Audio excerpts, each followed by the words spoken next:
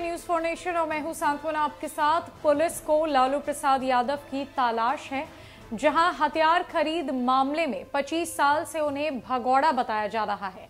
अब कोर्ट ने बड़ा एक्शन लेते हुए लालू प्रसाद यादव के खिलाफ वारंट जारी कर दिया है, जिसके बाद उनकी मुसीबतें बढ़ने वाली है।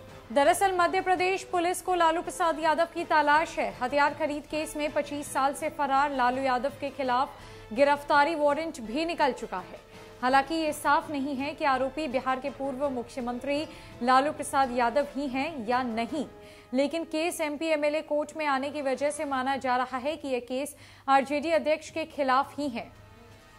वहीं इस केस में एक अन्य आरोपी के वकील का दावा है कि मिलते जुलते नाम की वजह से यह गड़बड़ हुई है और केस एमपी एमएलए कोर्ट में चलाया जा रहा है। मामला उस दौर का है जब लालू प्रसाद यादव बिहार के मुख्यमंत्री थे। ग्वालियर में हथियार विक्रेता प्रवेश चतुर्वेदी ने उन्नीस में शहर के इंदरगंज थाने में शिकायत दर्ज कराई थी। इसके मुताबिक उत्तर प्रदेश के महोबा निवासी हथियार विक्रेता राजकुमार शर्मा ने ग्वालियर की तीन फर्म से फर्जीवाड़ा करके हथियार और कारतूस खरीदे, फिर उन्हें बिहार में बेच दिया। जिन लोगों को हथियार बेचे गए थे, उनमें से एक व्यक्ति का नाम लालू प्रसाद यादव था।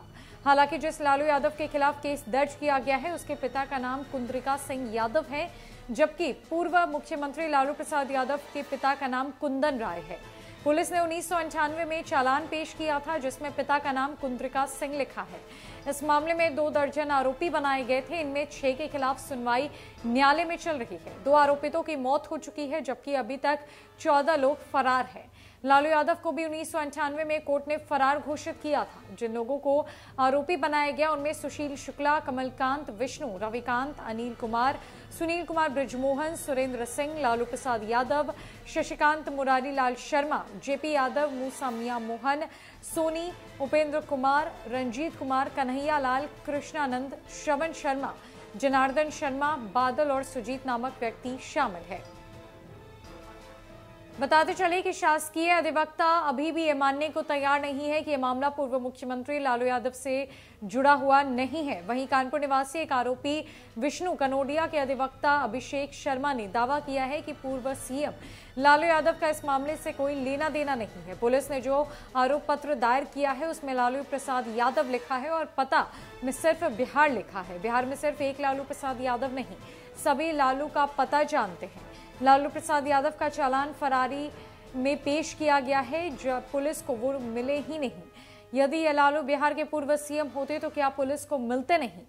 350 बोर की 16 राइफल 12 बोर की डबल बैरल की 20 राइफल एनपी बोर राइफल के 20,000 से ज़्यादा कारतूस 12 बोर बंदूक के साढ़े सात हज़ार कारतूस 32 बोर रिवॉल्वर के 1500 कारतूस 25 बोर पिस्टल के 250 कारतूस की खरीद की गई थी।